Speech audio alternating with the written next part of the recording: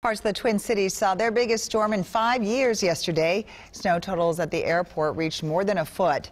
About 15 miles north in Plymouth, about seven inches was recorded. 25 miles north in Elk River, two inches of snow fell on the ground.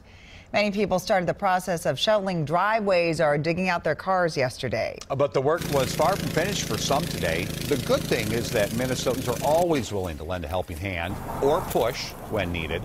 WCCO's Jeff Wagner shows us how big snows have the ability to bring out the good in people. Snow, as we've come to know up north, is inevitable. It's Minnesota, right? And just as predictable as a flurry of flakes is the selflessness that follows them. The big thing was the drifting, you know. Like Doug Stepanek, who is clearing the driveway of his neighbor who's on vacation. Paul's a good friend of mine, so yeah, I'd do anything for him. Yeah.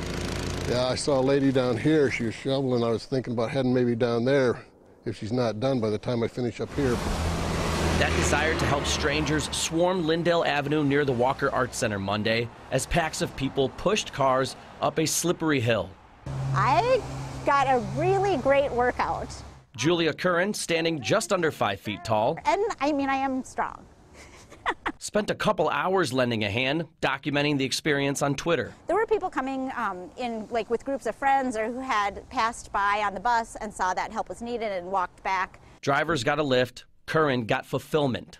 And it builds a sense of community and it gives you nice memories when you're walking by what is otherwise a kind of miserable street. Her story doesn't surprise fellow Minnesotans. If someone needs help, we'll pitch in. It was bound to happen, just like the storm that started it. It's kind of the same old routine every time it snows every winter. Different story tonight outside the Walker Art Center as we look towards Hennepin Avenue and Lyndale. The streets are crystal clear as traffic has been going by quite smoothly, but I'm going to guess there are hundreds of drivers who will not forget the struggles of last night and hopefully not forget all those people who came to the rescue.